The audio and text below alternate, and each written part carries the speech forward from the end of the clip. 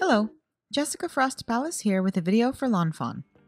Today I'm creating an interactive platform pop-up card using the adorable new mice from Just Plane Awesome, so let's get started. First, I stamp the images from Just Plane Awesome onto white cardstock with VersaFine and heat emboss them with clear embossing powder before coloring them with Copic markers. I'm using my favorite Copic combo for the fur of my mice. I start by coloring them with E70. I go back and add a few dark shadows with E77. Then I blend those shadows out with E74 and E71 before going back over the image with E70.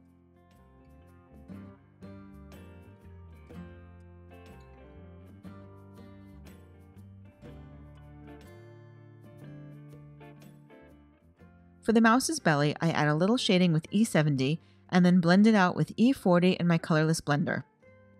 Finally, I use R000 and R01 for his ears and nose.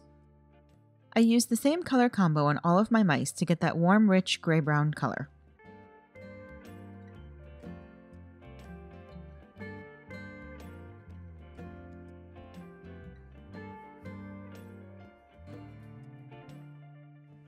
Then I use a bright rainbow of colors for my paper airplanes and use three Copic markers for each color family. Once I finish coloring, I die cut the images with the coordinating die cuts.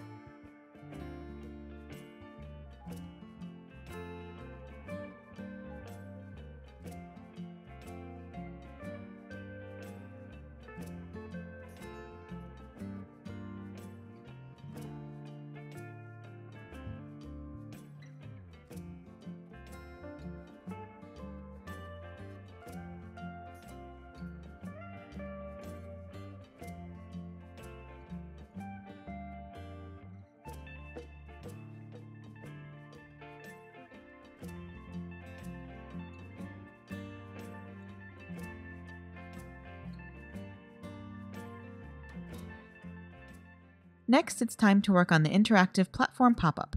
I die cut pieces from the platform pop-up die, the platform pop-up cloud wraparound, and the platform pop-up cloud inserts with white cardstock. From the platform pop-up set, I die cut the large panels and the T-shaped pieces twice. I die cut the cloud wraparound twice from the wraparound add-on set, and I die cut the cloud insert once and the smaller cloud piece twice from the cloud insert add-on. To start, I take one of the cloud wraparound pieces and fold along each of the scored edges. I use my bone folder to get a sharp crease on the folds. The die embosses the score lines into the cardstock so it's easy to see where to fold. I repeat this folding and creasing for the other cloud wraparound, both platform pieces, and the T-shaped pieces.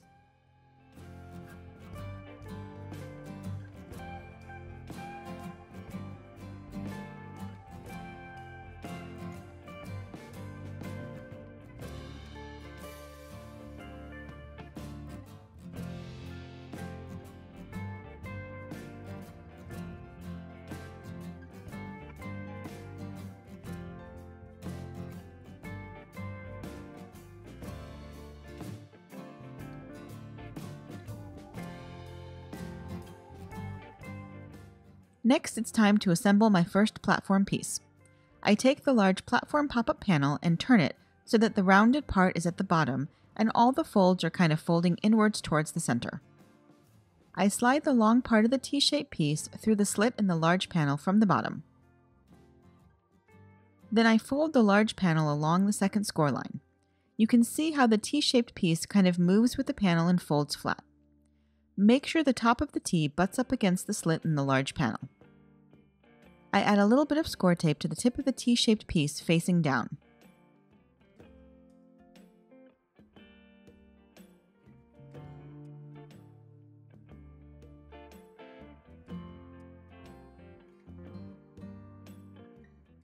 Then I add score tape to the end of the large panel that's currently folded over. Keep the tape within the score lines.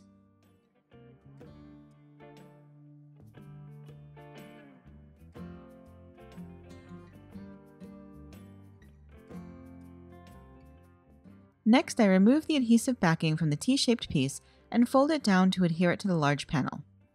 Keep the large panel folded along the score line to make sure the T-shaped piece is adhered in the correct location. Then I fold the large panel along the next score line until it forms a three-dimensional shape. At this point you can kind of see where the next bit of adhesive will adhere. Remove the adhesive backing and then fold the panel along the score line again, adhering the edge of the large panel close to the scalloped edge. When you fold up the panel, it will pull up into a three-dimensional structure. This is half of your platform pop-up. Repeat the process for the second large panel. I sped this part up a little bit, but I'm following the same instructions for this piece.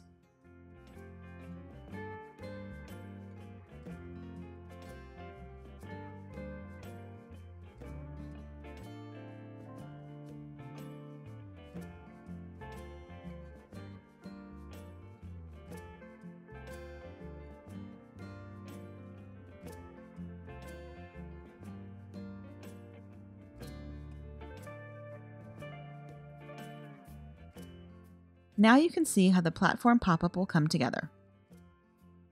Next, it's time to work on more of the design. I blend the edges of the cloud wraparound with tumbled glass and Mermaid Lagoon Distress Oxide ink using a blending brush. I use a light hand so that the color doesn't get too dark or saturated.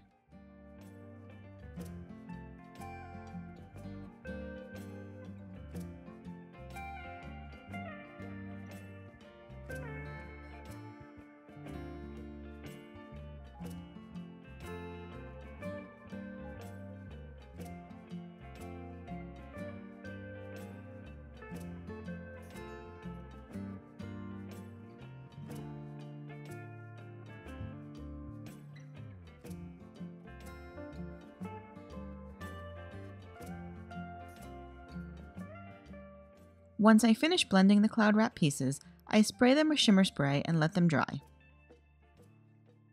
While they're drying, I blend the same two Distress Oxide inks onto the other cloud pieces.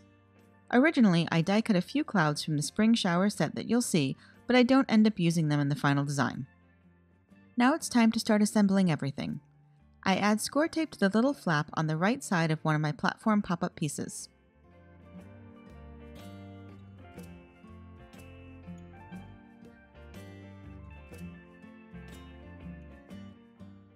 I remove the adhesive backing and carefully adhere it to the left side of the second platform pop-up piece.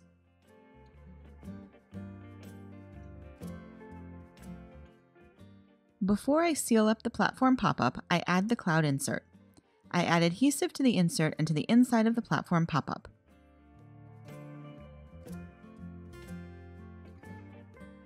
I remove the adhesive backing and adhere the insert to the other inside panel keeping the stitch line of the bottom cloud right above the platform pop-up panel. Then I remove the adhesive backing from the other side of the platform and carefully seal it together.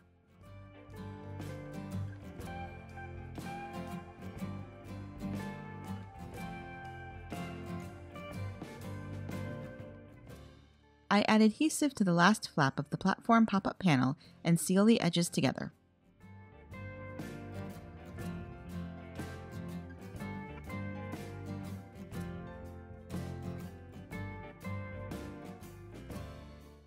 Next, I add a little score tape to the bottom of each tiny cloud piece.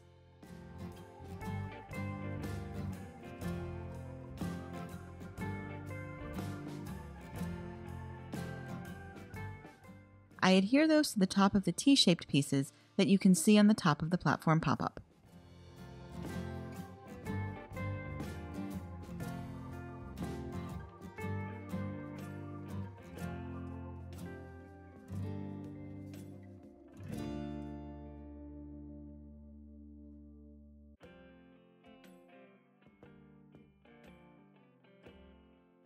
Then I add score tape to the small flap on one of my cloud wrap pieces and adhere it to the second piece.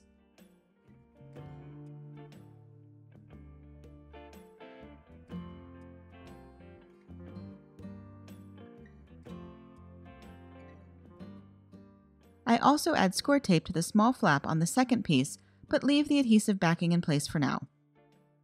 Then I add tape runner over the inside of both pieces of the cloud wrap.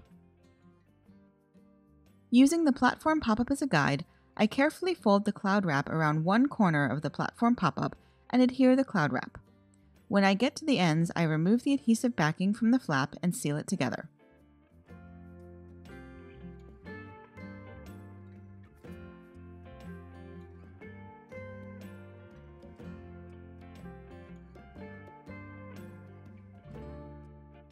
The cloud wrap replaces the original scalloped wall of the platform pop-up with a more appropriate shape for my design.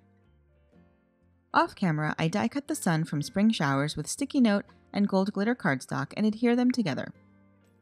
I also stamp sentiments from Just Plane Awesome and Just Plane Awesome sentiment trails onto black cardstock and heat emboss them with white embossing powder. I arranged my pieces on the platform pop-up and started adhering them using my tape runner and liquid adhesive.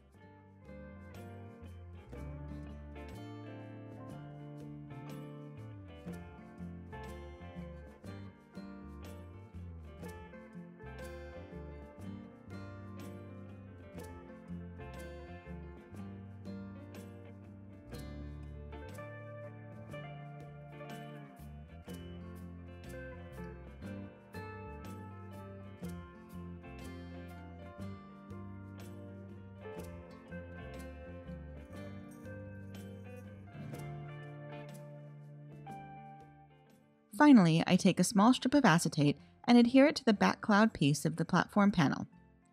Then I adhere one of the airplanes to the strip, which gives it the appearance of floating in the air.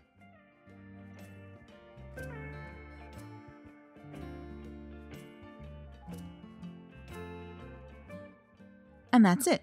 I hope you enjoyed today's video, and if you did, I'd love for you to give it a thumbs up and leave a comment. Be sure to subscribe to the Lawn Fawn channel for even more crafty inspiration. Thanks so much for watching, and until next time, have a fantastic day and happy crafting. Bye!